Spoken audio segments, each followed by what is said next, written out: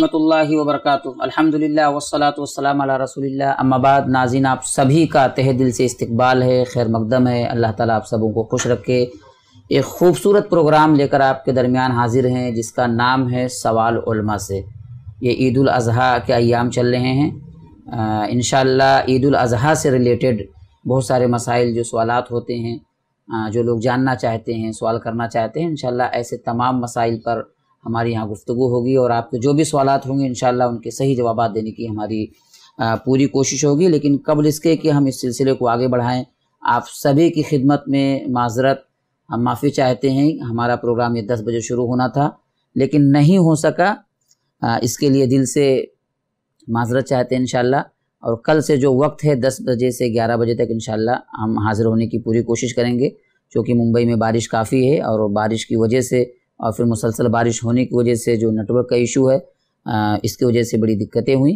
खैर अलहमदिल्ला हमारे उलमा हमारे दरमियान मौजूद हैं। शेख किफ़ातुल्ला सनाबली साहब भी माशाल्लाह मौजूद हैं और शेख अब्दुल शुकुर मदनी साहब। हम सभी का इस्तकबाल करते हैं और आइए बिला किसी ताखिर इस सिलसिले को हम शुरू करते हैं। नाजिन देखिए, जो नंबर शो हो रहा है, आपके जो भी सवाल हैं इन डायरेक्ट आप उस पर सवाल कर सकते हैं। चैट के ज़रिए भी आप कर सकते हैं और कोशिश करें फ़ोन पर, यानी कॉल के ज़रिए आप सवाल करें। आइए हम गुफ्तु इंशाल्लाह शुरू करते हैं। शेख सबसे पहले आपकी खिदमत में ये कि जो ये अयाम चल रहे हैं, जिलहिज्जा के अयाम तो इन अयाम के हवाले से हदीस में क्या कुछ फजीलतें वारिद हैं? अल्हम्दुलिल्लाह वस्सलातु वस्सलाम अला देखिए, इन अयाम की बड़ी फजीलत है। अल्लाह के नबी सल्लल्लाहु अलैहि वसल्लम की बड़ी मशहूर हदीस है अब्दुल्ला बिन अब्बास रज़ी अल्लाह वाली।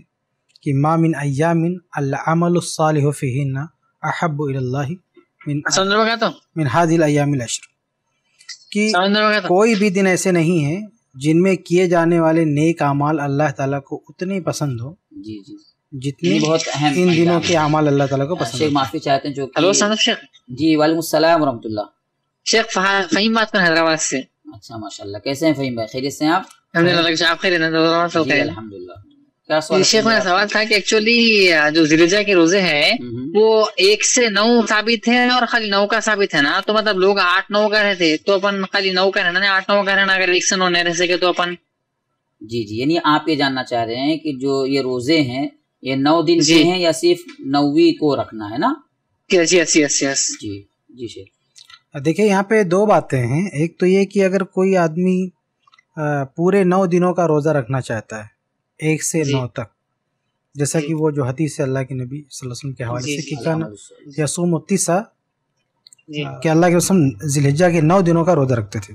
जी, तो उस हदीस की रोशनी में कोई चाहे तो नौ दिनों का रोज़ा रख सकता है। लेकिन अगर आप एक दूसरे एतबार से सोचें कि अगर आदमी नौ दिनों का रोज़ा नहीं रखना चाहता सिर्फ़ अरफा के दिन का रोज़ा रखना चाहते हो तो वो नौ तारीख को रोज़ा रखेगा। अब ये का गलत हाँ हाँ वही वही मैं बता रहा हूँ आपको। अब जो कुछ लोगों ने कहा कि नहीं वो एहतियातन आठ नौ दोनों का रख ले। क्योंकि वो जो रुयत रुयत को लेकर जो इख्तलाफ है ना वहादत रुयत वालों का तो उनका कहना है कि भाई एक चाँद पूरी दुनिया वालों के लिए है। तो वो एक तबका है। और एक तबका दूसरा जो गिरोह है वो कहते नहीं अपने अपने हिसाब से रुयत अपनी अपनी रुयत के हिसाब से रोजा रखेंगे। तो उसमें एक कुछ लोग एक बीच वाली रात बीच वाली बात निकालते हैं। वो कहते नहीं आठ नौ दोनों का रख लें। लेकिन ये बात ठीक नहीं है। ठीक है आपको अगर रखना है रोजा रख ले कोई मसला नहीं ये पूरे जो अरफा का रोजा लेकिन एक ही है। हाँ अरफा का एक ही है बाकी आपको रखना है तो रखे हम्म। आठ को रखे सात को रखे छह को रखे एक तारीख से लेकर आठ नौ तारीख रखे कोई मसला अरफा का रोजा एक ही लेकिन अरफा की जो नीयत है ना अरफा अरफा के रोज़े की जो नीयत है अरफा का जो रोजा है खसूसी जो उसकी फजीलत है वो सिर्फ़ नौ तारीख को तारीख के साथ नौ तारीख ही को रखेंगे उसको। नौ नौ ठीक है जी बहुत बहुत शुक्रिया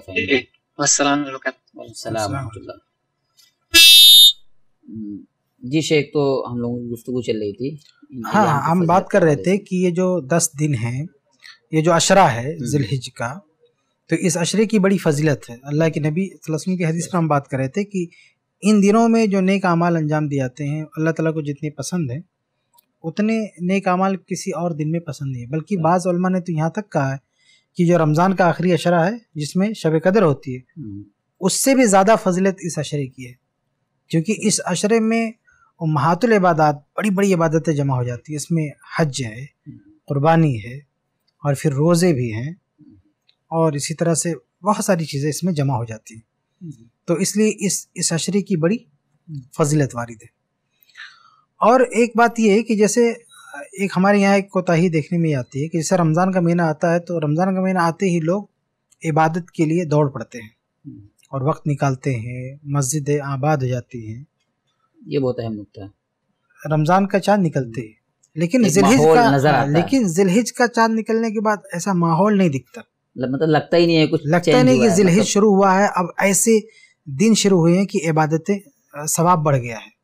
हालाँकि रमज़ान के मुकाबले में ये जो जिलहिज के दिन है इसमें सवाब और ज़्यादा बढ़ जाता क्योंकि जब ये हाँ पढ़ा था शेख इब्न तैमिया रहमतुल्लाह ने लिखा था कि रात के एतबार से अगर देखें हम्म। तो रमज़ान का आखिरी अशरा और दिन के लिहाज से हम्म। ये ये अशरा है जिलहिज्जा का हाँ, हाँ। तो ये बात भी सही है हाँ ये कुछ लोग कुछ उलमा ने ये तदबीक दी है हम्म। लेकिन जो हदीस आप देखेंगे मा मिन अयामिन अमल फ़ी वो हदीस बताती है कि इन दस दिनों के अमल का जो सवाब है उसका मुकाबला कहीं नहीं सही। कहीं उसकी नज़ीर नहीं तो जिस तरह से हम रमज़ान में अहतमाम करते हैं कसरत इबादत का तो ऐसे इन दिनों में भी हमें अहतमाम करना चाहिए। यानी जिलहिज का चाँद दिखती हम्म। हाँ, जो एक बात तो पॉइंट की बात ये थी ना शेख की शेख ने जो बातें कही और जो आपने बातें कही कि इसमें ये कोई चीज़ माना नहीं रखती है कि अफजल कौन सा वक्त है। हम्म। यानी वो चाहे मतलब कद्र की रातें हैं जो दस रमज़ान की आखिरी जो दस रातें हैं वो अफजल हैं या उनके अयाम या जो है अशर जो है वो अफजल है। ये सिर्फ़ एक इल्मी बहस है। इल्मी बहस कि फजीलत किसकी ज़्यादा है अफजल कौन है? हम्म। बाकी अमल के लिहाज से अमल के लिहाज से तदबीक के लिहाज से दोनों की अहमियत है। तो जैसे आदमी उन जो है दस दिनों के जो रमज़ान के आखिरी अशरा होता है उसमें इबादत करता है वैसे इसकी भी फजीलत है इसमें भी इबादत करनी चाहिए। असल मतलब पॉइंट शायद लोगों के लिए ये अहम हम्म, हम्म, ये अहम सही सही। लेकिन वाकई से ये चीज़ अहम है कि हम लोग रमज़ान में हर इलाके में आप देखें तो रौनकें बढ़ जाती हैं। लोगों का अहतमाम मस्जिदों से लगाओ और फिर मस्जिदों में तैयारियाँ भी नज़र आती हैं। लेकिन ये जो दस दिन हैं मतलब किसी भी इलाके में आप चले जाएँ मस्जिद में चले जाएँ कोई मतलब लगता ही नहीं है।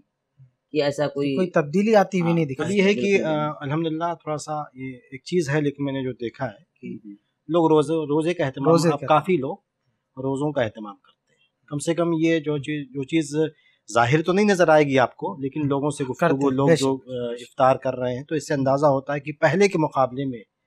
अब लोगों में थोड़ा सा एहतमाम बढ़ा है बढ़ा और लोग जो है जो है अशरज लहजा के जो नौ दिन तो यानी कि अफजल अयाम दुनिया यानी ये जो अयाम हैं ये सबसे अफजल है।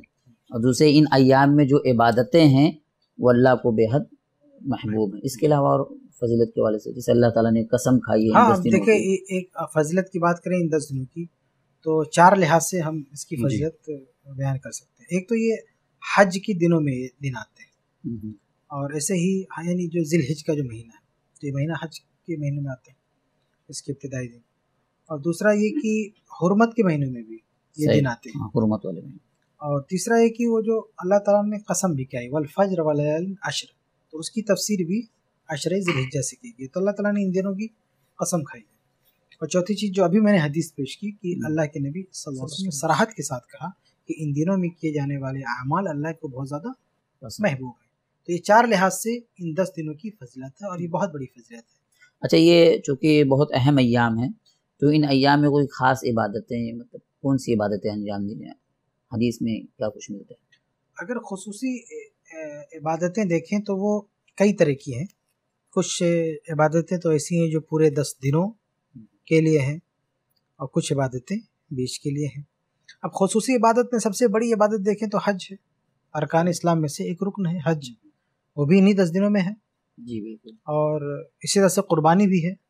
खसूस इबादत नहीं ख़ास इन दस दिनों में इनके अलावा इनसे बाहर नहीं है। और इसी तरह से तो है ही है। हाँ वो तो आम इबादत है। लेकिन खास जो इन दस दिनों में हजर रहमतुल्लाह ने भी यही बात कही है कि इनमें तमाम तरह की इबादतें जमा हो जाती हैं। हाँ अब जैसे सदका खैरात वगैरह आप बाद में भी कर सकते हैं लेकिन हज आप बाद में नहीं कर सकते। सही। कुर्बानी आप बाद में जाके नहीं कर सकते। हाँ और ऐसे ही जो पूरे अशरे के लिए जो ताकीद है तकबीरात की और इसी तरह से बाल और नाखून छोड़ने की। तो ये सारी चीज़ें इन दस दिनों में है। दस दिनों में अरफा का रोज़ा है। हाँ वो भी अरफा का रोज़ा है जो जिससे दो साल के गुनाह माफ़ होते हैं। तो ये बहुत बड़ी फजीलत की बात है। और जैसा शेख ने बहुत सारी बातें बयान की। मतलब है कि उसमें एक अहम अमल जो होता है वो हज का अमल है।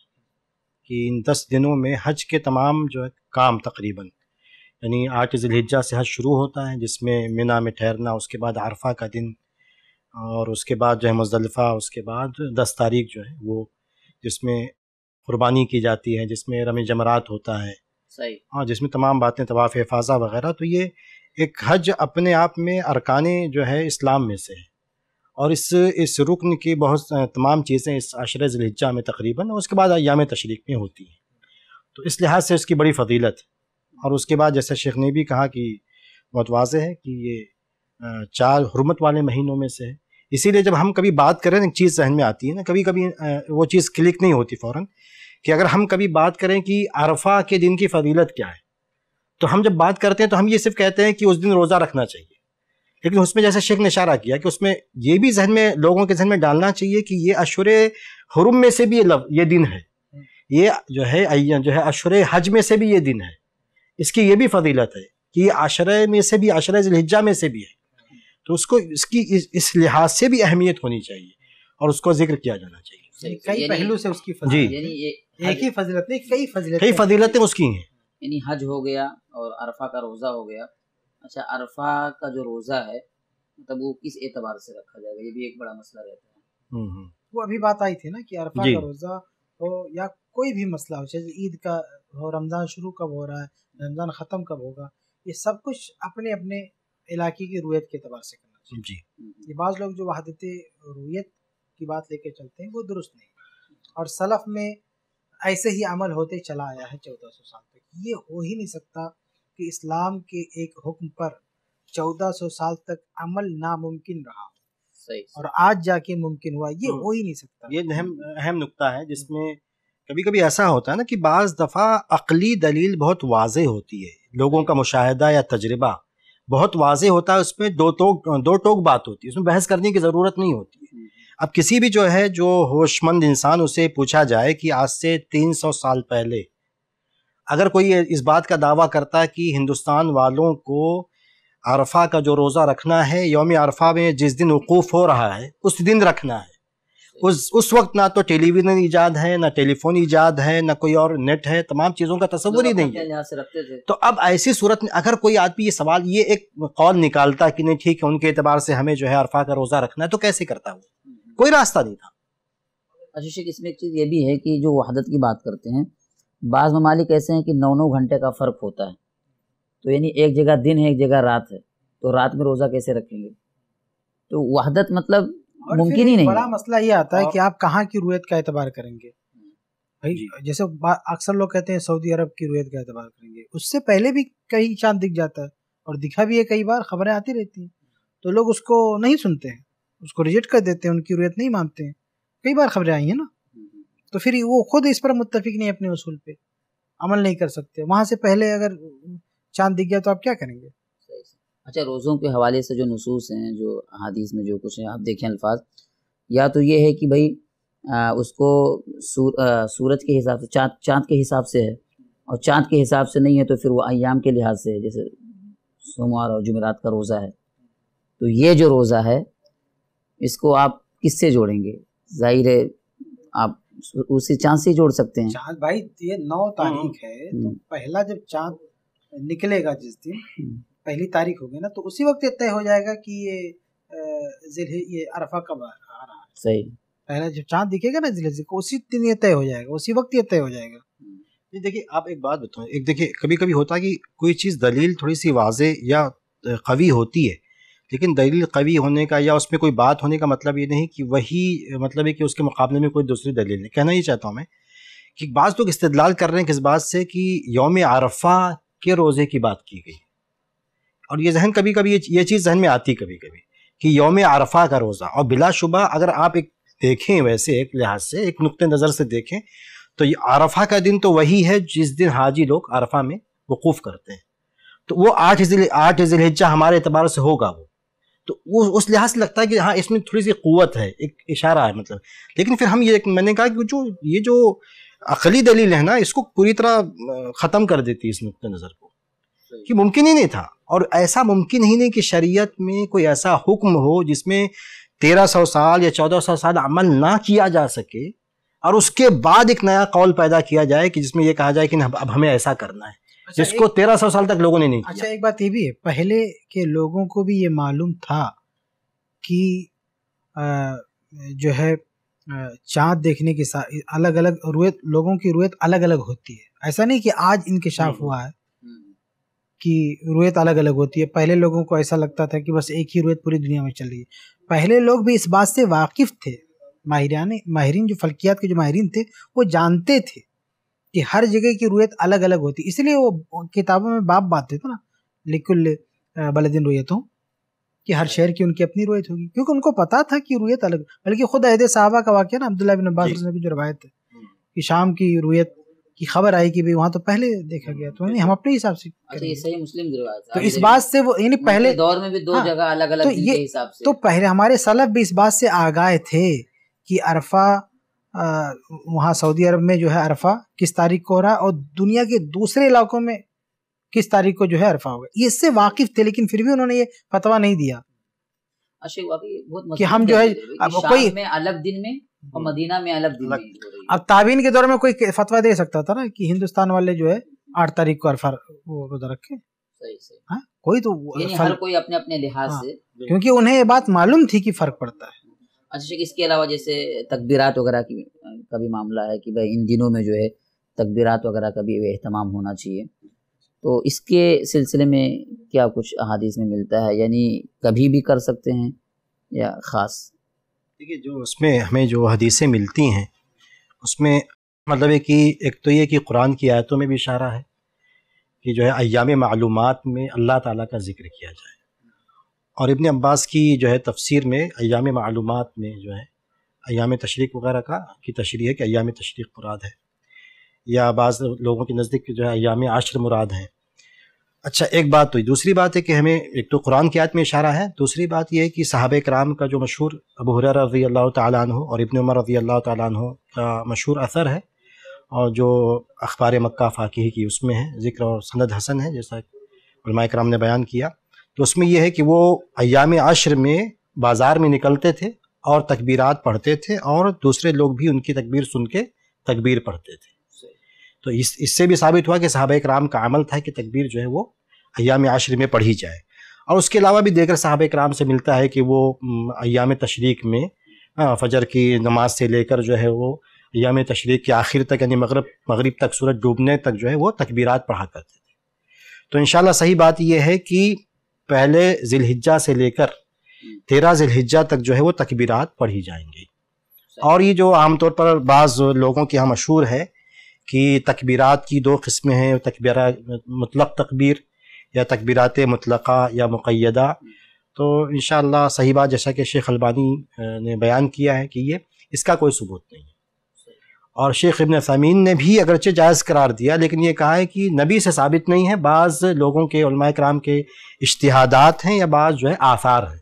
जी तो इसलिए इंशाल्लाह इस पर हम लोग करेंगे। नाजिन देखिए इंशाल्लाह जो हमारा ये प्रोग्राम है ये कल भी, परसों भी और नरसों भी, इंशाल्लाह ये पाँच दिन इसी तरह चलते रहेगा। दस बजे से लेकर ग्यारह बजे तक। और ईद अजहा से रिलेटेड जो भी आपके मसाइल हैं, जो भी आपके सवाल हैं, इंशाल्लाह आप डायरेक्ट लाइव हमसे पूछ सकते हैं, इंशाल्लाह जो भी सही जवाब होंगे आपको देने की पूरी हमारी कोशिश होगी। स्क्रीन पर जो नंबर शो हो रहा है, आप उस नंबर को डायल करें और फिर इंशाल्लाह आप सवाल कर सकते हैं। शेख जैसा कि तकबीरात के हवाले से गुफ्तु चल रही है, आमतौर पर हम किताबों में देखते हैं और आजकल सोशल मीडिया का ज़माना है हर जगह यही चीज़ नज़र आती है कि तकबीरात की दो किस्में हैं, एक मुतलक, एक मुकैद तो इस सिलसिले में आपके जैसा कि शेख ने वाजे कर दिया कि इस चीज़ की कोई दलील ना तो कुरान में है, ना हदीस में ये जो दो तकसीम ने की है इसकी कोई असल नहीं है, यानी सही कोई दलील मौजूद नहीं कुछ आसार से कन्फ्यूज़न हुआ। कुछ आसार तो साबित ही नहीं है, और कुछ आसार ऐसे हैं, जैसे अब्दुल्ला इब्न उमर की एक एक असर है कि वो नमाजों के बाद तकबीरात कहते थे। लेकिन उन्हीं से एक असर ये भी है सही सनत से कि जब वो अकेले नमाज़ पढ़ते थे तो नमाज़ के बाद तकबीरात नहीं पढ़ते थे। तो वो अगर किसी नमाज़ के बाद तकबीरात कहते थे तो उस वो लोगों को बताने के लिए तालीम देने के लिए। हम्म। हम्म, तालीम जैसे वो अब्दुल्ला इब्न उमर अजरों ही के बारे में है और इसी तरह से अबू हुरैरा के बारे में जिस शेख ने भी ज़िक्र किया वो बाज़ार में जाके तकबीरात कहते आम जो है तो इसका ये मतलब तो नहीं कि मुक़ैद बिल असवाक है हम्म, हम्म, कि बाजारों के साथ मुक़ैद है वो। ये तो तो नहीं कहेंगे कि बाजारों के साथ तकबीर मुक़ैद है। ये कैसा कि तकबीर जो एक अमल है। हम्म। अब अमल को किसी वक्त के साथ अगर खास करें तो ज़ाहिर खास करने के लिए कोई दलील होनी चाहिए। चाहिए अच्छा, एक जैसा शेख की बातों में आ गई बात लेकिन एक कंफ्यूजन लोगों के जहन में ये भी है कि बाज़ आसार में ये है कि जैसे अली रज़ी अल्लाह तु का असर है और बाद दीगर साहब कराम का कि वो उन्होंने फ़जर से तकबीर शुरू किया यानी तशरीक के फ़जर से तक, तकबीर शुरू की बाज़ रवायतों में कि असर तक हम्म। या मगरब तक हम्म। तो बाद साहब कराम का तो इससे बाद लोग इस्तलाल करते हैं देखिए कि फ़जर के बाद गोया तक के तकबीर कही लेकिन उसमें ये आसार में ये बात नहीं है आसार में का जो मफहूम ये है मफहूम ये है कि वहाँ से शुरुआत की उन्होंने। आगाज़ आगाज़ वहाँ से हुआ और उसकी जो है इंतहा जो है वो अयाम तशरीक के सूरज डूबने तक है। तो जैसे हम आज भी मुसलमानों की ये आदत होती है कि भाई कब मुलाकात करना कब मिलना है मगरब में मिलेंगे या असर में मिलेंगे। क्योंकि हमारे नज़दीक मगरब की और असर की अहमियत होती है कि ठीक है जहर में मुलाकात करते हैं जहर बाद मीटिंग होगी या असर बाद मीटिंग तो उस उसी तरह इसी तरह इसमें जो है चूँकि एक नमाज़ जो है मुसलमानों के नज़दीक एक अहम चीज़ होती है। तो इसी तरह बताया गया कि इस नमाज़ से आगाज़ हुआ और उसके बाद जो है आगे चलकर जो है उस यम तशरीक के ख़त्म होने पर उसकी इंतहा हुई। ये मकसूद है, उससे वक्त बतलाना मकसूद नहीं है। जी। बड़ी कसरत के साथ शेख हमारी मस्जिदों में आप देखें तो सलाम फेरने के बाद जो है तकबीरात का अहतमाम हो जाए हालाँकि ऐसा शेख नमाज़ सलाम फेरने के बाद के जो अजकार हैं जो दुआएँ हैं वो उस मौके से हैं। वो सुन्नत है उसी वक्त पढ़ना है। हाँ जो साबित है उसको हाँ, छोड़कर। हाँ, उनको छोड़कर और ये ये आम जो तकबीरात हैं जिलहिज की वो नहीं पढ़ना है। नमाज़ के बाद की जो तकबीरात हैं या नमाज़ के बाद के जो असकार हैं असल उनको उसी जगह पे रखना है। उन अजकार को जगह से नहीं हटाना। अयाम में ये जो तकबीरात हैं आदमी जब इत्तेफाक हो जहाँ हाँ, उसमें आदमी उसमें देखिए नमाज़ जैसा ये हो सकता है कि भाई आदमी ने सलाम फेरा जो दुआएँ हैं दुआएँ पढ़ ली। पढ़ने के बाद आदमी अपने तौर पर मस्जिद में एक अच्छा माहौल होता है बैठ के पढ़ना चाहे तो पढ़ ले। कोई मसला नहीं नमाजों के बाद भी पढ़े लेकिन खास ना करे। हाँ नमाज़ के साथ जोड़े ना उसको। हाँ, कि इन नमाजों को नमाजों के बाद ही पढ़ा जाएगा। अब और एक बात ये भी देखें कि ये बहुत फजूल बात मालूम होती है। कि जो लोग ये कहते हैं ना तकबीरात मुकैद वो भी इस बात को मानते हैं कि नमाजों के बाद के अलावा दीगर अवकात में भी कहना है तकबीर। तो इस तकसीम का फ़ायदा क्या रहेगा सही सही जब आप ये मानते हो कि नमाजों के बाद भी कहना है और बकिया जो दिन रात कभी भी आपको कहना है तो फिर ये मुक़ैद लाने का मतलब क्या? अच्छा शेख बहुत सारे उलमा के फतावे मैंने देखे हैं और किताबें मैंने देखी। आमतौर पर हर जगह ये चीज़ मतलब लिखी हुई मुक़ैद। लेकिन ये चीज़ आई कहाँ से? मतलब इस सिलसिले में कोई दलील मुझे अब तक नहीं मिली। नहीं, तो मतलब ये किसका नतीजा है? मतलब ने भी कहा ना कि शेख इब्न उसैमीन रहमतुल्लाह ने खुद सराहत की है कि कोई दलील नहीं है। इस बात की कोई इसलिए शेख अलबानी रहमतुल्लाह ने तो बहुत सख्त अल्फाज में कहा है कि तकीद मिनल बिद उन्होंने बिदत का लफ्ज इस्तेमाल किया है कि अगर कोई मुक़ैद कहता तकबीरात मुक़ैद की बात करता तो ये बिदत है। सही शेख इसी तरीके से इन अयाम में और क्या खास अमाल हो सकते हैं? तो देखिए इन अयाम में हज की बात आ गई कुर्बानी की बात आ गई योम अरफा की खसूसी फजलत वो भी बात आ गई। नौ दिनों का आदमी रोज़ा रख सकता है। ये सारी तो जितना हाँ जितना दिन तो ये वो इबादतें हैं जो अहादीस में बाकायदा जिनका ज़िक्र आता है। हम्म। इसके अलावा जब ये लफ्ज़ आ गया ना कि मामिन अयामिन अलामल तो अलामल ये हदीस में आम रखा गया है। तो इसके तहत आप जो चाहें इबादत ला सकते हैं। तकबीर तस्बीह है तो कुरान मजीद की तलावत भी है। अलामल में कुरान मजीद की तलावत अयाम में इबादतें अल्लाह को बेहद पसंद हैं तो ज़ाहिर एक अच्छा मौका है। तो जितनी भी इबादतें हो सकती हैं खैर के कामों से सब अंजाम। बिल्कुल। जैसे कराम एक बात ये भी कहते हैं कि चूँकि वो जो हदीस है तिसाजलहिजा वाली उसके बारे में कलाम है। मशहूर सबको पता है कि उसमें कलाम है। तो कभी अगर मान भी लिया जाए कि वो हदीस काबिल एहतजाज नहीं है फ़र्ज़ कर लिया जाए तो कराम ने उसका एक जवाब ये दिया है कि फ़र्ज़ भी कर लिया जाए कि ठीक है रोज़े के लिए कोई मखसूस दलील हमारे पास मौजूद नहीं है। तो जो दूसरी हमारी मशहूर हदीस है जिसमें अमल साहले साले का तस्करा है उसमें जो रोज़ा भी उसमें शामिल है बिलाशुबा रोज़ा अफजल इबादतों में से है। हम्म। तो ये बात है। अच्छा एक बात और जहन में आई कि मुझे नहीं पता या मतलब एक इतनी मशहूर कौल नहीं है जो लोग जो नौ जिलहिजा वाली बात करते हैं या अरफा वाली बात करते हैं हम्म। एक साहब ने फ़ोन किया कि उसमें यह कहा कि हमारे वालिद साहब ये उनका जो है उनके यहाँ जंतरी है एक। और उस जंतरी में वो सब पहले से तारीखें फिक्स हैं कि किस दिन ईद होगी किस दिन अरफा योम अरफा पड़ेगा किस दिन ईद फित्र होगी कि, किस दिन ईद अजहा होगी तो उसी एतबार से मनाते हैं। कहते हैं कभी कभी जो है वो दो दिन दो दिन पहले मना लेते हैं।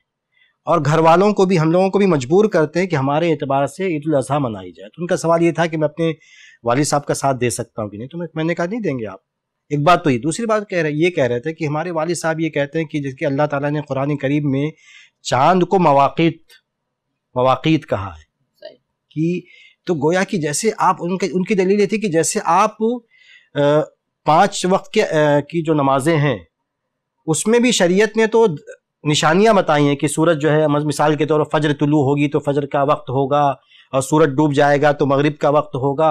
तो आप लोगों ने अब टाइमिंग क्यों लोगों के सामने रखी है कि इतने बजे फजर की नमा अजान होगी, इतने बजे जहर की? गोया कि आपने शरीयत की जो दलीलें थी, उनको छोड़ दिया है, शरीयत का जो तरीक़ाकार था। तो जैसे आपने वहाँ छोड़ दिया, वैसे ही आ, यहाँ भी हमने जंतरी बना दी। ये फिक्स है मतलब अब चाँद की जो है हरकतें भी फिक्स है तो उसी चाँद जैसे आपने सूरज की हरकत के एतबार से टाइमिंग फिक्स कर दी है, हमने चाँद की हरकत के एतबार से जो है, हमने ईद, बकरी तमाम चीज़ें फिक्स कर दी हैं। तो बहरहाल मैंने कोशिश की उनको जवाब देने की। मैंने ये कहा कि देखिए, हमें शरीयत की दलीलों पर अमल करना है। शरीयत ने हमें तरीक़ा ये बताया कि फ़जर की नमाज़ कब पढ़ी जाएगी? जब फजर तुलू होगी। मगरिब की नमाज़ कब पढ़ी जाएगी? जब सूरज डूबेगा। हमने तब्दीली कोई नहीं की है। वही जो अलामत थी, उसमें हमने वक्त का इजाफा किया कि वक्त कब होता है तो हमने वक्त लोगों के सामने रख दिया है कि भाई डूबेगा कब? उसका हम वक्त बता रहे हैं। कि डूबेगा। हम ये नहीं बता रहे कि वक्त दलील है, वक्त की बुनियाद पे आपको नमाज़ पढ़ना। हम ये कह रहे हैं कि जब डूबेगा तो जब डूबता है तो वक्त इतना होता है। जब फजर तुलू होती है तो वक्त इतना होता है। तो उस एतबार से हम बात कर रहे हैं उसके मुकाबले में आप चाँद को देखिए।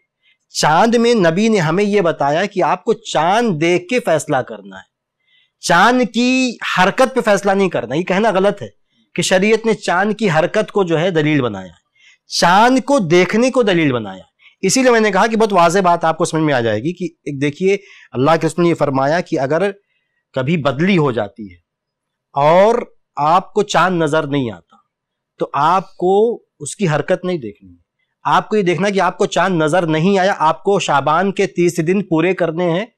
हो सकता है कि चाँद निकला हो। मतलब नबी को भी पता है ये ये बहुत कॉमन सेंस है। तो चाँद निकलने का एतबार नहीं है, चाँद दिखने का एतबार तो बदली की वजह से हमें चाँद नहीं दिखा इसलिए जो है हमें रोजा शुरू मिसाल के तौर पर अगर रमज़ान का मसला है तो नहीं करना या अगर बात का मसला है तो ईद नहीं मनानी है। तो बहरहाल समझाने की कोशिश की तो लोग अपने अपने एतबार से नए नए फलसफे या फिर कोई पुराना फ़लसफ़ा भी हो तो उस पर डटने की कोशिश करते हैं जबकि हकीकत में हमें कुरान हदीस की दलीलों को को मैार बनाना चाहिए और उसी के अतबार से भी कोई भी फैसला होनी चाहिए। और एक अहम बात उसमें ये भी समझ में आई ज़िमनी बात यह है कि इंसान को कराम के से टच में रहना चाहिए और कराम के फतुओं का की ताबेदारी करना चाहिए उनसे पूछना चाहिए वो जो कुरान हदीस के अतबार से जवाब दें उसका एतबार करना चाहिए। अपने अतबार से फतवाबाजी या फ़लसफ़े नहीं बनाना चाहिए। जी। अच्छा कि एक और मसला रहता है इन दिनों में नाखून वगैरह का। जैसे ही चाँद निकला बल्कि निकलने से पहले ये सवाल आने लगता है कि भाई नाखून का क्या मामला है? हर कोई छोड़ दे या जिसके नाम से कुर्बानी है सिर्फ़ उसे ही छोड़ना है। अब देखिए सही मुस्लिम वगैरह की जो रवायत है उसमें यह है कि तुम में से जो कुर्बानी का इरादा रखता है तो वो बाल और नाखून ना काटे। तो इस हदीस में तो बरह रास्त उसी की, उसी के लिए कहा गया है कि जो कुर्बानी करने का इरादा रखता है तो वो बाल और नाखून नहीं काटेगा। तो इसीलिए बाद ने इनके हक में वाजिब भी करार दिया है कि जो कुर्बानी करना चाहते हैं, उनके हक में ये वाजिब है। और यही बात दुरुस्त भी लगती है। बाद लोग कहते हैं कि नहीं वाजिब नहीं है वो भी कुछ दलाल देते हैं अम्मा आयशा वगैरह की कुछ रवायतें पेश करते हैं वो हदी से मतलब लेकिन वो वो अलग चीज़ है। सही बात ये मालूम होती है कि वाजिब है जो कुर्बानी करना चाहता है उसके लिए बाल नाखून इन दस दिनों में छोड़ देना ये वाजिब तो यानी बाल नाखून या उसके अलावा जेर नाफ के बाल वगैरह हाँ, हाँ बाल नाखून और बाल नाखून जिल्द वगैरह हाँ, हाँ, सारी चीज़ें। हाँ। और दूसरे लोगों का क्या मामला है? अब बाज उल्मा के बाद ने जो है कयास किया है उस पर कि जो दूसरे लोग हैं, वो भी अगर वो भी बाल नाखून छोड़ दें। जैसे देखिए इसमें दो शक्ल है। एक तो ये है कि एक घर में कुर्बानी हो रही है। अब घर का जो अगुआ है, वो कुर्बानी कर रहा है। वो अपनी तरफ़ से और अपने सारे घर वालों की तरफ़ से कर रहा है। तो अब ये लोग जो तबान उसमें शामिल हैं, उस कुर्बानी में, इनका बाल नाखून काटने का मसला है। और दूसरा है कि एक ऐसी फैमिली जहाँ कुर्बानी नहीं हो रही है। यानी उसकी इस्तात नहीं रखते हैं। तो उनके बाल और नाखून छोड़ने का मसला है। ये दो दो चीज़ें तो ये जो पहली बात है ना, यहाँ भी बाजुलमा ने कहा है कि अगरचे एक आदमी है ना जो कुर्बानी कर रहा हो, लेकिन चूँकि पूरे घर वालों की तरफ़ से हो रही है, इसलिए पूरे घर वाले बाल, नाखून छोड़ के रखेंगे। ऐसा इस इस ताल्लुक से कुछ आसार भी मिलते हैं। तो इसमें सही बात मुझे यही लगती है कि पूरी फैमिली जो पूरे घर वाले हैं, सब बाल, नाखून छोड़ के रखेंगे तो सब उसमें शरीक होते हैं। उस कुर्बानी में सब शरीक होते हैं। वो कुर्बानी आदमी अपने तरफ़ से अपने घर वालों की तरफ़ से करता है। तो जिससे वो बाल नाखून नहीं कटेगा सबको नहीं काटना चाहिए। वो हदीस में तो मन इरादा है ना मतलब जो इरादा करे कुर्बानी का हाँ। तो कुर्बानी तो किसी एक ही की तरफ़ से होती है। हम्म। तो वही मुकल्लफ है मतलब वो ना काटे बाकी और सारे लोगों को इसमें शामिल मतलब इसमें एक बात जो है देखिए सब इस्तलाल है लोगों का और फहम है ये। हम्म। एक तो वाजह कि मरफू हदीस में तो कोई वाज बात तो नहीं वाजे नहीं तो उसमें दोनों बातें कही अपना मौक़ हो सकता है कि एक मौक़ ये हो सकता है कि सिर्फ़ कुर्बानी करने वाले के लिए पाबंदी है ये। और दूसरा मौक़ ये हो सकता है कि चूँकि वो कुर्बानी उसकी तरफ़ से उसके घर वालों की तरफ़ से दोनों की तरफ़ से की जा रही है तो शायद कोई कतई बात नहीं कही जा सकती लेकिन एक मतलब मौक़ हो सकता है कि वो भी शामिल हो। अच्छा एक बात और मैं कह दूँ कि जो शेख ने इशारा भी किया कि बाद जैसे इबन उमर रदी अल्लाह बाद आसार भी मिलते हैं। और आसार जो है वो बाज़ एक सहाबी का असर इबन उमर का और एक बाज़ ताबीन का दिया था और दोनों असर जो है वो कम से कम हसन है। तो लेकिन उसमें भी ये कि उन्होंने कुछ जो अल्फाज याद नहीं लेकिन उसमें ये कि ऐसा लोगों को करना चाहिए कि घर वाले भी घर वाले भी जो है नाखून बाल वगैरह ना काटें। तो कम से कम जो है उस आसार की बुनियाद पर जो है इस्तेहबाब तो कम से कम माना जा सकता है। अल्लाह आलम लेकिन इस्तेहबाब कम से कम है कि कम से कम जो है घर वाले भी फजीलत की बात ये होगी इस्तेहबाब कम से कम ये होगा कि घर वाले भी हाँ, इन तमाम चीज़ों की पाबंदी करें। बाकी हाँ आम चीज़ मैं हमेशा सुनता हूँ कि जिनकी तरफ़ से कुर्बानी नहीं हो रही अगर वो भी इन चीज़ों का अहतमाम करें ईद तक तो उनको भी कुर्बानी का सवाब मिलेगा। कुर्बानी करना। हाँ। देखिए इस बारे में कोई सरी दलील तो नहीं है बहुत ही वाज क्लियर कि ये लोग भी बाल नाखून छोड़ेंगे तो कुर्बानी का सवाब मिलेगा। अलबत्ता वो जो सनन नबी दाऊद की हदीस है ना शेख अलबानी रमला ने उसको ज़यीफ़ कहा, लेकिन वो हदीस सही है। उसमें एक रावी क्या है? ईसा बिन हिलाल। एक रावी है। तो शेख अलबानी को उनकी तोसीक नहीं मिली मतलब मोतबर तोसीक। लेकिन बाद में लोगों को उनकी तोसीक मिली तो उन्होंने उस रवायत को सही कहा। तो उसमें अल्लाह के नबी सल्लल्लाहु अलैहि वसल्लम फरमाते हैं कि अगर ईद के दिन जब सब लोग बाल, जानवर जबा कर रहे हैं तो तुम भी अपना बाल काट लो जरिनाब बाल काट लो, नाखून काट लो तो ये तुम्हारी कुर्बानी तो इसमें एक राय तो ये है उलमा की, कि भाई ये तो सिर्फ़ ये है कि ईद के दिन बाल काटने की बात की गई। ये नहीं कहा गया कि दस दिन छोड़ के रखना है।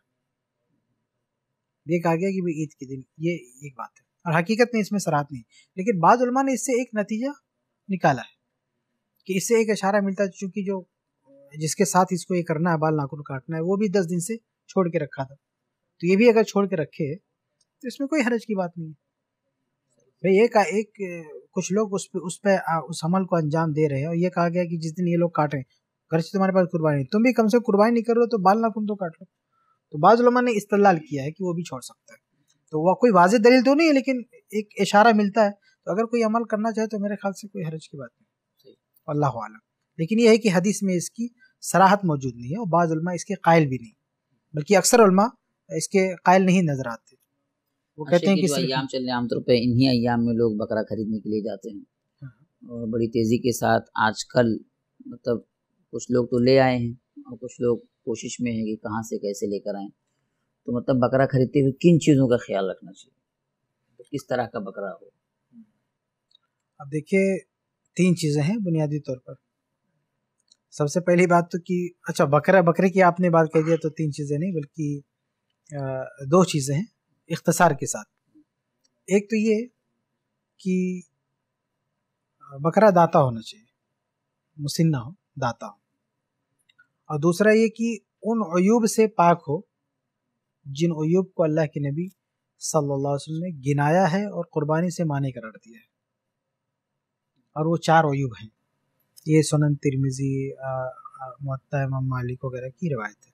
बरा बिन नाजिब रजील की सही रवायत उसका खुलासा ये है कि जानवर में चार तरह का ऐब नहीं होना चाहिए। एक है कि लंगड़ा, जिसका लंगड़ापन ज़ाहिर हो, और दूसरा ये कि बीमार, बीमारी ज़ाहिर हो, और तीसरा ये कि उसकी आँख खराब हो आँख की बीमारी जो ज़ाहिर हो, और चौथा है कि बिल्कुल हड्डियों का ढांचा ना हो। तो ये चार ऐब अल्लाह के नबी वसल्लम ने गिनाए हैं। ये ऐब, हमको यही देखना असल में जाके। ये जानवर दाता है, ये देखना है, और ये देखना इन चार में से कोई ऐब है कि नहीं? तो इन चार में से अगर कोई भी ऐब रहा तो उसकी कुर्बानी हो ही नहीं सकती। अलबत्ता इसके अलावा भी अगर कोई देखना चाहे कि दूसरा भी कोई ऐब ना हो तो अच्छी बात है जैसे अच्छा खूबसूरत हाँ खूबसूरत दिख रहा है उसकी उसकी सींग वगैरह में भी कोई मसला नहीं है कान वगैरह में भी कोई मसला नहीं है। इस तरह से खूबसूरत और अच्छा तंदुरुस्त जानवर लेने की कोशिश करें तो अच्छी बात है। लेकिन जब ये बात होगी ना कि आ, कौन सा ऐब हो, हो कि आप जानवर ले ही नहीं सकते तो ये चार ऐब है बस। ये चार ऐब होंगे तो आप जानवर हर साल मसला पेश आता है मतलब किसी का हल्का सींग टूट गया या कहीं चोट लग गई खून निकल गया या कुछ और हो गया। सींग से मतलब जितनी भी रवायत है ना सबकी सब ज़यीफ है। एक भी रवायत के कॉल्स आते हैं सवाल नहीं नहीं एक भी रवायत सही नहीं है जिसमें सींग के बारे में ये हो कि सींग टूटी हो तो उसकी कुर्बानी नहीं होगी। कुत्ते ने काट लिया तो कुछ और मसला आ गया। वो कि वो चार किसी ने काट लिया इसके ताल्लुक से तो कोई रवायत ही नहीं है मतलब काट लिया किसी तो आदमी सोचता है कि कुर्बानी का जानवर है तो शायद कुर्बानी ना हो। असल में एक गलत फहमी क्या लोगों में? हम्म। लोगों में एक गलत फहमी है कि कुर्बानी के जानवर में कोई ऐब नहीं होना चाहिए। ये लोगों ने समझ लिया जबकि सही बात यह है कि कुर्बानी के जानवर में वो ऐब नहीं होना चाहिए जो ऐब अल्लाह के नबी वसल्लम ने गिनाया है। वो चार ऐब वो अब नहीं होना चाहिए। बाकी अगर कोई दूसरा ऐब है तो ठीक है वो एक ऐब है आदमी उस ऐब से भी पाक जानवर ले तो अच्छी बात है लेकिन वो ऐब कुर्बानी से माने नहीं। उस ऐब के होते हुए भी कुर्बानी हो जाएगी। बस ये चार ऐब नहीं होना चाहिए। अच्छा हमारे यहाँ शेख लोग जब बकरा खरीदने के लिए जाते हैं तो बड़ा एहतमाम होता है बच्चे भी जाते हैं और हेलो। कभी कभी मुझे ऐसा लगता है। सवाल। एक सवाल लेते हैं। हाँ अस्सलाम वालेकुम। हेलो। जी अस्सलाम वालेकुम। हाँ हेलो अस्सलाम वालेकुम वरहमतुल्लाहि वबरकातुहू जी जी मैं, मैं मेरा नाम अफशा परवीन है मैं झारखंड से बोल रही हूँ। मेरा क्वेश्चन था कि क्या दिलहिजा के दस दिन जो होते हैं शुरू के तो इसमें क्या हम नियत करते हैं जो रमज़ान में फ़र्ज़ रोज़े रोज़े छूटे होते हैं उसकी? यानी आप ये पूछना चाहती हैं कि ये जो रोजा हम जिलिजा में रख रहे हैं जी आवाज़ तो इसी में नहीं आ रही है सर। मतलब आपका सवाल ये है कि इन दस दिनों में जो रोजा हम रख रहे हैं इसी रोज़े के साथ रमज़ान को छोटे हुए जो रोज़े हैं उनकी भी नियत कर लें। हाँ। ओके। उसकी क्या नियत कर सकते हैं? जी सर उसकी नियत करेंगे तो वही रोज़े होंगे।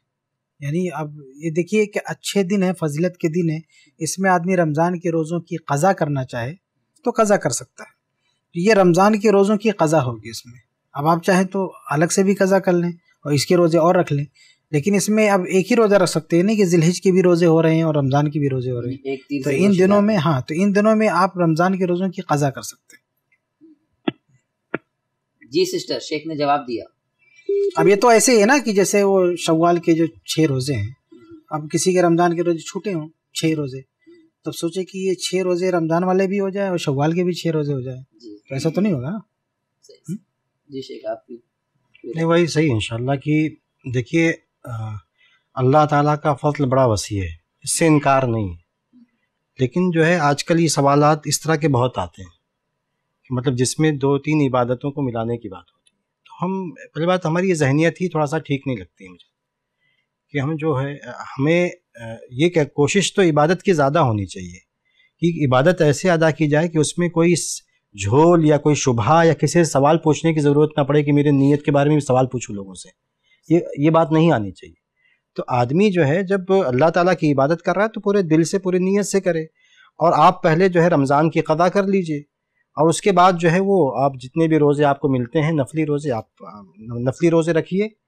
लेकिन ये जो है कि एक तीर से, जैसे आपने कहा, एक तीर से दो शिकार, तीन शिकार करने की जो कोशिश होती है देखिए मैं कहता हूँ कि मैं ये नहीं कहता कि अगर आप इन दिनों में रमज़ान के रोज़े की कदा करेंगे तो आपको इन दिनों में जो रोज़े हैं उनकी फजीलत का कोई सवाब मिल नहीं मिलेगा। मैं इसका इनकार नहीं कर रहा मुझे नहीं पता क्योंकि अल्लाह ताला के फजल करम पर लेकिन ये जो ये जो सूरत अपनाई गई है ना ये ठीक नहीं लगती कि आदमी इस तरह जो है इबादतों में इस तरह करे।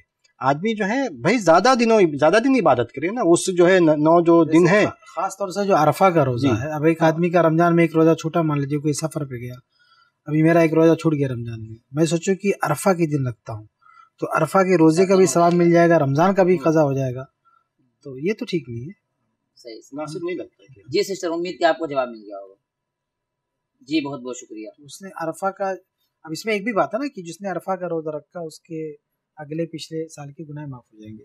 तो रमज़ान का कजा किया तो कजा करके ये फजलत ले सकता है? रमज़ान के रोज़े की कजा किया अरफा के दिन। और ये कहे कि रमज़ान का कजा भी हो गया और दो साल की गुनाह भी माफ़ रोजों की हैसियत भी अलग अलग है हाँ। तो शेख एक खास बात ये है कि जब आमतौर पर लोग बकरा खरीदने जाते हैं तो कैसे पूरी फैमिली और कभी कभी बल्कि ऐसा भी होता है कि पैसा नहीं भी है तो भी कर्जा लेकर ला रहे हैं कि लोग क्या कहेंगे? लेकिन बकरा लाना और फिर उसको घुमाना।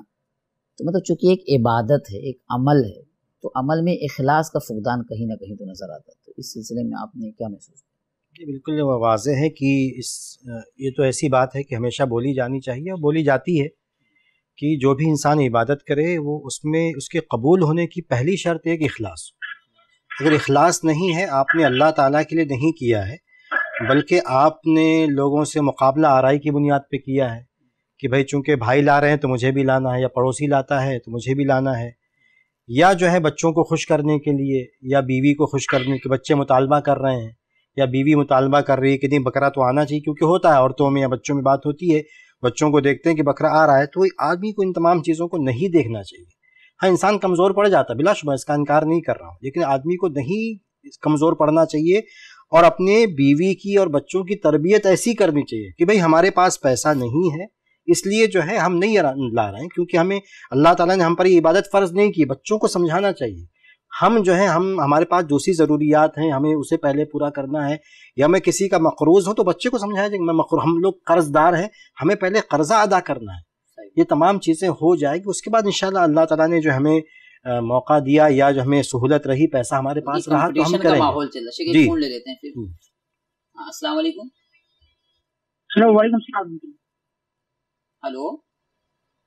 हेलो अस्सलाम वालेकुम जी वालेकुम सलाम। कहाँ से हाँ, बात कर रहे हैं आप? फहीम भाई बात। मैं मैं मुसैद बोल रहा हूँ अबुधाबी से दुबई से। माशाल्लाह दुबई से। कैसे हैं? आप खैरियत से हैं? जी।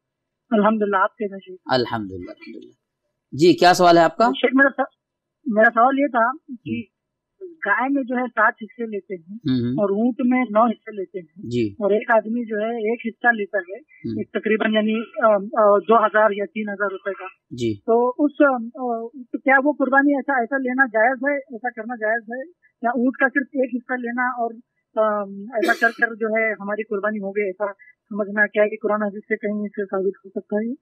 नहीं जैसे गाय में सात हिस्सा है तो उसमें आप हिस्सा लेना चाहते हैं? एक हिस्सा। जी एक हिस्सा अगर लेंगे तो क्या हमारी कुर्बानी जायज़ होगी? या फिर एक जान का करना है उसका ज़रूरी? नहीं नहीं मतलब वाजे क्लियर एकदम। जी शेख शॉर्ट में। हाँ नहीं एक आदमी ले सकता है। उसमें गाय है, है हाँ तो, तो सात हिस्सा मतलब सात लोग शरीक हो सकते हैं। तो सात लोगों की तरफ़ से कुर्बानी हो सकती है। ये भाई साहब जो कह रहे हैं जान। जान ज़रूरी नहीं है। छोटा जानवर है ना तो वो है। बाकी ये जान ज़रूरी नहीं है जैसे अकीका में है ना। कि अकीका में आप जान जो है कुर्बान कर लिए। लेकिन यहाँ जान जब बड़ा जानवर होगा, बकाया होगी तो उसमें आप जो है हिस्सा ले सकते हैं। एक हिस्सा आपने लिया तो समझो आपकी तरफ़ से होगी कुर्बानी। ऐसा नहीं कि कुर्बानी नहीं होगी। बल्कि ने वजाहत कर दूँ राम ने ये भी ज़िक्र किया है कि उस एक हिस्से में पूरा घर भी शरीक हो सकता हाँ, है। जैसे बकरे में। बेशक बेशक एक हिस्सा सिर्फ़ एक आदमी की तरफ़ से नहीं बल्कि एक हिस्सा हाँ। बकरे के बराबर है उसमें पूरे घर वाले भी शरीक है जैसे बकरे में शरीक है जी। जी। भाई उम्मीद की आपको जवाब इसमें कोई इख्तलाफ भी नहीं है हम्म। जी जी शुक्रिया जी बहुत बहुत शुक्रिया। जी शेख जैसा कि वो रियाकारी के हवाले से जो गुफ्तु चल रही थी। एक और सुन लेते हैं। हाँ, अस्सलाम वालेकुम। हेलो। हेलो। अस्सलाम वालेकुम। हेलो। अस्सलाम वालेकुम जी वालेकुम अस्सलाम वरहमतुल्लाहि वबरकातुहू।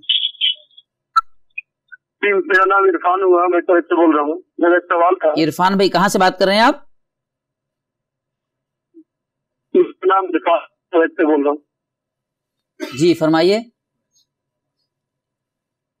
मेरा सवाल ये था कि जुमा के दिन रोजा रखना अल्लाह ने मना फरमाया है। हाँ हाँ। लेकिन जुमा अगर अरफा के दिन आ जाए तो क्या क्या क्या रख सकते हैं? जी जी शेख। सुबह जो है अगर जो है अरफा जुमा के दिन अल्लाह के रसूल वसल्लम ने मना फरमाया है रोज़ा रखने से। लेकिन कराम ने वजाहत की है कि अगर कोई ख़ास मौका आ जाए बहुत सारी सूरतें बनती हैं जिसमें जिसमें इंसान जुमा के दिन जैसे रमज़ान में आ जाए जुमा आ जाए रमज़ान में आ जाए या ये कि जो है कोई कदा का मसला आ जाए और कदा में आगे रमज़ान शुरू हो रहा है और जुमा का दिन है मुझे एक रोज़ी की कदा बाकी है तो मैं कदा करूँगा पहले उसको? अगरचे वो जो है जुमा का दिन पड़ जाए या मैं पहले से रोज़ा रखते हुए आया हूँ चाहे नागे के साथ रखते हुए या लगातार रखते हुए आया हूँ तो भी मैं रोज़ा रख सकता हूँ जुमा का। इसी तरह अयाम तशरीक में रोज जुमा पड़ जाए तो भी मैं रख सकता हूँ। इसी तरह जो है जुमा से एक दिन पहले एक दिन बाद मिला के भी रख सकता हूँ। तो बहुत सारी सूरतें बनती जिसमें जो है जुमा का रोज़ा रखा जा सकता है तो इसी तरह अरफा का दिन भी जो है अगर जुमा के दिन अरफा का दिन पड़ जाता है तो बिलाशुबा आप उस दिन रोज़ा रख सकते हैं कोई हर्ज की बात नहीं। इसमें कोई है? आज के उलमा में काफ़ी इख्तलाफ है और काफ़ी बहस होती है। लेकिन इसमें देखिए आदमी इस तस्वर से थोड़ी रोजा रखता है कि मैं जुमा का रोजा रख रहा हूँ। हाँ। तो अरफा की वजह से रोजा रख रहा है। जुमा के दिन तो जुमा के दिन जो अल्लाह के नबी ससुर ने मना फरमाया वो कोई तस्वर ही नहीं होता। है वो अरफा की वजह से रोजा रख रहा। अरफा का रोजा रख रहा हूँ जी। बहुत बहुत शुक्रिया। उम्मीद की आपको जवाब मिल गया हो। जी अगला सवाल लेते हैं। ये है कि अस्सलाम इसमें ये बात भी बड़ी अजीब लगती है कि किसी साल आप ये कहें कि अरफा का रोज़ा मतलब रखने के इम्कान ही नहीं है। ये भी एक बड़ी अजीब बात हाँ। लगती है कि आप ये कहें कि इस साल अरफा का रोज़ा ही नहीं है। मैं हदीस में तो ऐसी कोई वजाहत नहीं है कोई ऐसा इशारा नहीं है कि कोई पड़ गया तो गोया कि अब अरफा का रोज़ा हाँ, आलम इस्लाम से ये रोज़ा ही उठ गया। हाँ? सही सही सही। आ, तो शेख वक्त काफ़ी हो चुका है कोई ख़ास आखिरी पैगाम? अब आखिरी पैगाम यही है कि एक तो जैसा कि अभी शेख ने वजात की कि नीयत सही होनी चाहिए। कोई भी अजीम इबादत हम अंजाम दें तो उसमें हमारी नीयत सही हो। और दूसरी बात यह है कि किताब सुन्नत की इत्तबा यानी हम कुर्बानी का तरीका जो भी है मेरा अपना ज़ाती तजर्बा है कि सबसे ज़्यादा कहीं रियाकारी नज़र आती तो इसी इबादत में। सही। तो नीयत भी सही होनी चाहिए और अल्लाह उसके रसूल वसल्लम की तालीमत के मुताबिक होना चाहिए। चाहे जानवर ख़रीदना हो घर पे रखना हो कुर्बानी करना हो गोश्त वगैरह का जो भी जितना भी मसला है। और इसी तरह से इन दस दिनों के जो अमाल हैं हाँ, ऐसा नहीं कि फजीलत सुन के अब जो चाहें आप करें। तो किताब सुन्नत की जो इत्तबा का मामला है उससे आदमी आज़ाद ना हो। जो भी करना चाहे वो पहले ठोक बजा के देख ले कि ये चीज़ साबित है कि नहीं इसकी गुंजाइश है कि नहीं उसके बाद ही वो अंजाम। रमज़ान से ज़्यादा अफजल अयाम अगर शेख ये हैं तो ये रौनकें नज़र आनी चाहिए। हाँ, तमाम मस्जिदों में बाहर सही। मैं भी कुछ बात कहना चाहता हूँ कि असल में आइंदा जहन में बात आए ना आए, लेकिन हो सकता आगे भी बात आए, लेकिन अभी फ़िलहाल कह देते हैं उस बात को। कि देखिए, ये मुल्क के हालात सबके सामने हैं और हमारे सामने एक एक अहम जो है हमारा हमारी ईद आ रही, हमारा त्यौहार आ रहा है। तो उसमें जो है हमें इस्लामी शरीयत की तालीमत की पाबंदी करनी है। उसमें ख़ास बात जो हमें लगता है कि थोड़ा सा उसमें नज़म ज़ब्त आना चाहिए, वो ये, एक तो ये कि चाहे वो बकरा लाने का मसला हो रखने का मसला हो बाद में क़ुरबानी का मसला हो तमाम जो चीज़ें हैं उसमें पहली बात है कि सफ़ाई का ख्याल रखा जाए। इसका जो है आप जानते हैं तहूर व शत्रुल ईमान सफ़ाई जो है निसफ ईमान आधा ईमान है। तो हम सिर्फ़ ज़बानी दावा नहीं होना चाहिए बल्कि प्रैक्टिकली हम पहले से उसके लिए तैयारी करें कि बकरे को हाँ बकरे को कैसे लाना है उनके लिए जो चारा वगैरह लाना है तो कैसे रखना है कहाँ रखना है कि हाँ। कहाँ फेंकना है उनकी गंदगियाँ कहाँ फेंकनी है फिर कुर्बानी में कहाँ कुर्बानी करनी है कुर्बानी से जो कचरा निकलता है हाँ उसको कहाँ फेंकना है तमाम चीज़ों का इंतज़ाम जो है हमें होना चाहिए। ऐसी भी खबरें आई हैं कि वो गंदगी वगैरह कहीं ला के डाल दिए वो कुत्ता बिल्ली वगैरह ले दूसरे के दरवाजे पे छोड़ उसकी वजह से झगड़े का सबब बन गया। बिल्कुल बहुत कुछ बहुत कुछ हमें देखने मिलता है तो उसकी हम जो है हम मुसलमान हैं और इस बात का दावा करते हैं कि जो है सफ़ाई नसफ ईमान है तो उसका अमली मुजाहरा भी होना चाहिए। एक दूसरी बात कह के बात ख़त्म करता हूँ। दूसरी बात यह कि उसमें जो ज़िमनी बात और आ गई कि हमें इस पूरे त्यौहार में पड़ोसियों का खसूसी ख्याल रखना है। खसूसी ख्याल का मतलब है कि सफ़ाई के मामले में। कि हमारे बकरा रखने की वजह से कुर्बानी की वजह से या किसी भी जो पूरा प्रोसेस हमारा होता है उसमें किसी भी चाहे वो पड़ोसी हमारा मुसलमान हो या गैर मुस्लिम हो उसको तकलीफ़ नहीं होनी चाहिए। जी। जी आखिरी सवाल हेलो जी अस्सलाम वालेकुम। वालेकुम अस्सलाम वरहमतुल्लाहि व जी आपका नाम? मेरा नाम सैयद इब्राहिम है मैं तेलंगाना अच्छा तेलंगाना से। कैसे हैं आप? खैरियत से बस अल्लाह का फजल है मालिक का करम है। माशाल्लाह। जी क्या सवाल है आपका? जी सर ये कुर्बानी का जानवर कुर्बानी। कितने दिन देना? सही है थोड़े उलमा कहते हैं चार दिन थोड़े कहते हैं तीन दिन तक। हम्म, हम्म, हम्म। जी बिल्कुल, बिल्कुल। शेख फातुल्ला साहब मौजूद है इनकी बाकायदा इस टॉपिक पे किताब ही है मुस्तकिल। जी जी सर। ये देखिए कुरान और हदीस की रोशनी में कुर्बानी चार दिन है। इस ताल्लुक से मेरी पूरी किताब है। चार दिन कुर्बानी किताब सुन्नत की रोशनी में। आप उसे इंटरनेट से डाउनलोड कर सकते हैं और पढ़ सकते हैं, पूरी तफसीलात उसमें हैं। तो हम तो इसी को सही समझते हैं कि चार दिन कुर्बानी की गुंजाइश है अगर कोई करना चाहे तो कर सकता है। किसी को नहीं करना है तो ज़बरदस्ती नहीं कि चार दिन करे। कोई एक ही जानवर करना चाहता है तो एक दिन करे। कोई दो दिन करना चाहता है दो दिन करे। तीन दिन करना चाहता है तीन दिन करे। लेकिन अगर कोई चार दिन भी करना चाहता है तो उसके लिए गुंजाइश है। वो कर सकता है। ठीक है। अब इसमें इब्न हिब्बान और बैकी और बहुत सारी कुतुब हदीस में एक रवायत है, बड़ी मशहूर रवायत है, कि अल्लाह के नबी सच फरमाते हैं कि जो अयाम तशरीक हैं कि अयाम तशरीक का हर दिन ज़बह का दिन है, कुर्बानी का दिन है। तो ये हदी, ये दलील है उन हदीस उन दलाइल में से जिनसे ये साबित होता है कि चार दिन कुर्बानी है, चारों दिन आप कुर्बानी कर सकते हैं। को छोड़कर अयाम तशरीक हाँ अयाम तशरीक को छोड़कर तो चार दिन नसी वगैरह की रवायत में ये क्लियर हो जाता है। मैंने अपनी किताब में रवायत भी निकल की है। उसमें यमन नहर के बाद के अयाम को अयाम तशरीक का जी। उम्मीद की आपको जवाब मिल गया होगा। शेख ने बताया कि चार दिन करनी है और शेख की मुस्तकिल किताब है इस टॉपिक करना चाहे तो कर सकता है। हाँ, चार दिन करना नहीं है। चार दिन है। हाँ चार दिन है। अब किसी को करना है तो कर सकता है। किसी को नहीं करना तो ना करे। सही सही सही हाँ तफसील के लिए देखना चाहते हैं मुस्तकिल किताब है शेख की वो आप इंशाल्लाह पढ़ सकते हैं। ओके ओके शुक्रिया। बहुत बहुत शुक्रिया। नाजिन आप सभी का बहुत बहुत शुक्रिया हमसे जुड़ने के लिए चूँकि आज के प्रोग्राम का वक्त यहीं पर ख़त्म होता है हम आपसे रुखसत होते हैं। हम अपने तमाम मेहमानों का भी शुक्रिया अदा करते हैं और आप सभी का कि आप हमसे जुड़े और आपके जो भी सवाल आए हमने हल करने की कोशिश की। इन हमारा ये प्रोग्राम इसी तरह चलता रहेगा। दस से ग्यारह बजे इन ये प्रोग्राम होगा। ईद उल अजहा से रिलेटेड जो भी आपके मसाइल होंगे, जो भी आपके सवाल होंगे इन आप डायरेक्ट पूछ सकते हैं। कल इन वक्त पर यह प्रोग्राम शुरू होगा। आपके जो भी सवाल हैं आप तैयार रखें और जो नंबर आपको दिया गया है, स्क्रीन पर शो होता है या पोस्टर में, आप इनशाला उस सवाल के ज़रिए डायरेक्ट आप लाइव इनशाला सवाल कर सकते हैं। एक बार फिर आप सभी का बहुत बहुत शुक्रिया। इनशाला फिर मिलेंगे कल के प्रोग्राम में। वालेकुम वरहमतुल्लाहि वबरकातुहू। ऐसे ही और वीडियोस बनाने में हमारी मदद करें।